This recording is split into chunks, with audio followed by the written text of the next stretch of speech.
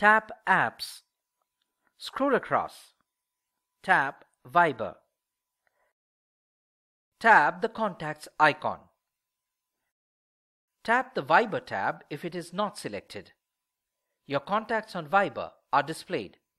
Scroll down and choose a contact. Tap and select the contact.